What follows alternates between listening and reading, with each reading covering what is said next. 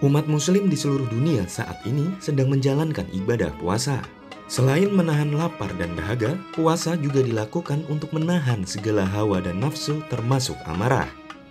Namun bagaimana jika kita tidak bisa menahan amarah ketika sedang berpuasa dan berujung pada pertengkaran? Apakah marah hingga bertengkar dapat membatalkan puasa?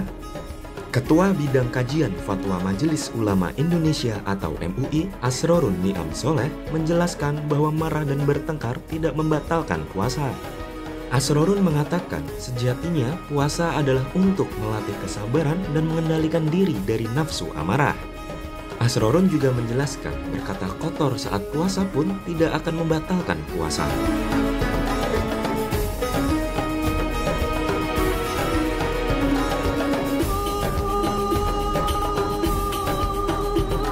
Guru Besar Universitas Islam Negeri Raden Mas Said Surakarta, Syamsul Bakri, menyatakan bahwa marah dan bertengkar tidak membatalkan puasa. Ia mengatakan memang puasa juga dilakukan untuk menahan hawa dan nafsu, tetapi nafsu amarah yang muncul tidak membatalkan puasa.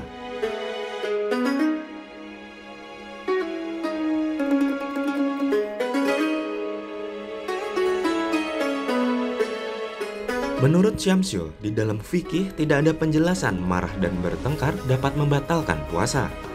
Dengan begitu, saat nafsu amarah muncul selama menjalankan ibadah puasa, puasa tetap sah namun menghilangkan pahala dari puasa tersebut.